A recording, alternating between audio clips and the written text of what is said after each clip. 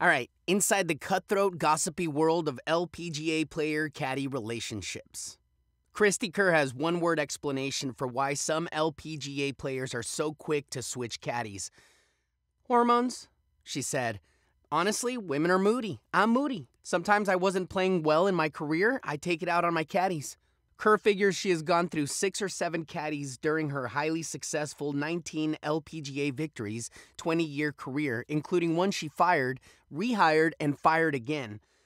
We had amazing chemistry on the golf course, she said of Jason Gilroyed, with whom she won her two majors, but we also were always butting heads. Gilroyed now works for Alison Lee, a Californian who fired a tidy 3 under 68 in the first round of the KPMG Women's PGA Championship at Olympia Fields. The Caddy Chronicles make for great tour gossip. Hooking up? It happens, Kerr said. It's like it's like high school out there. I mean, what else are we going to talk about? We're tired of talking about golf. One caddy called the various caddy player switcheroos incestuous. It does tend to be very much a caddy carousel on the LPGA Tour, Golf Channel reporter Karen Stupples said, and it's a bit of a running joke, especially among the top caddies. Stupples, who won the 2004 Women's British Open, said the revolving door is largely the result of players just feeling like they need a different look. Stupples and other longtime tour observers say the turnover rate is especially high among Asian players, some of whom are known to let parents or agents call the shots. At age 20, Lydia Ko already had 19 professional wins and even more sets of fingerprints on her clubs. The Korean born New Zealand raised Ko is now using Pete Godfrey, her 10th caddy since turning pro. She even took a spin with Tiger Woods' former caddy, Mike Fluff Cowan. After Ko jettisoned Gary Matthews in April, he lashed out, Golf Sarge, if we can call him that, told Golf World. She needs to wake up on caddy player relationships, otherwise, she'll just keep doing it. In all honesty, there's no communication in the whole camp. Ko in contention this weekend after opening in 70 68 had no trouble articulating how she is benefiting from working with Godfrey. He has a very positive attitude, she said. So even if I get disappointed, he says, Come on, chip that in, or we can make a birdie on the next hole. Okay, so indeed, caddies do far more than read greens, choose clubs, and rake bunkers. They're along to help with the mental side of the game, and sometimes more than that. Beatriz Recari has been in a romantic relationship with caddy Andreas Thorpe for nearly a decade. To me, it's not so much that he's my boyfriend, she said.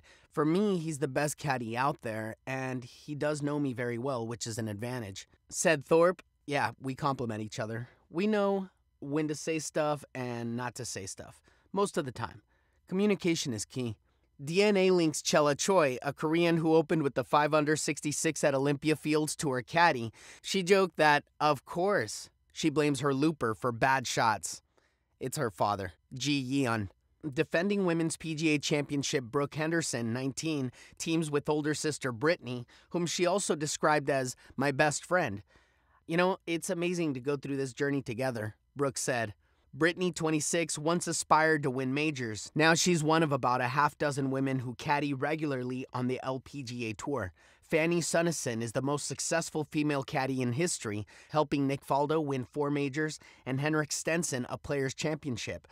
After Brooke earned her tour card, Brittany said she needed someone to be there. I didn't like traveling alone. It's much more fun that we're out here together. I get a lot of comments like, I could never caddy for my sister, but we keep it pretty professional, and I can lighten things up with an inside joke.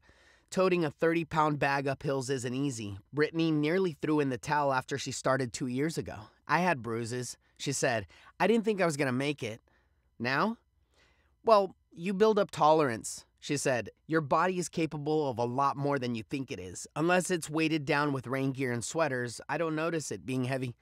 While Brittany said she hopes to be on Brooke's bag for a long time, some caddies look to cut bait with slumping players. LPGA purses are a fraction of the men's. The number 10 player in PGA Tour earnings has pocketed about 3.6 million this season, compared with 537,000 for his LPGA equal. Most caddies receive 8% of total winnings and 10% for a victory. It can be hurtful to a player if a caddy leaves to make more money, Stupples said. It can become a bit of a tussle for the player to keep a hold of a well regarded caddy. It's a very complicated dynamic, kind of cutthroat, actually. The consistently strong Stacey Lewis enjoys one of the most enduring player caddy relationships on tour. She's worked with Travis Wilson for nearly nine years. I- I'm more of a loyal type, she said, adding that the key is owning up to poor shots. Wilson echoed that, saying she's different in the fact that she'll actually take responsibility for a poor shot. You know, a lot of people can't do that out here. We see a lot of things the same way. We have a good mesh. Christina Kim certainly meshes well with Duncan French, who is caddying for Korean Su Oh this week after helping Michelle Wie win the 2014 U.S. Women's Open. Kim and French have remained a couple long since their working relationship ended. Why the golf breakup? Well, I wanted to make sure everyone knew he deserves a great bag because of the work that he puts in, not because he's boinking me, said Kim, who has three LPGA wins. I don't want him to be in the shadow of the career that I've had. He deserves to have the respect that he has now by virtue of his work and of his own merit. Kerr, who entered the women's PGA fifth on the LPGA money list, is having a good run with their current caddy, Brady Stockton. The former Web.com Tour player happened to be free in the spring of 2016 after he quit a non golf job. You know, the, the best things are meant to be, Kerr said. It's like meeting your spouse. Written by Teddy Greenstein. Voiced by Michael Robles.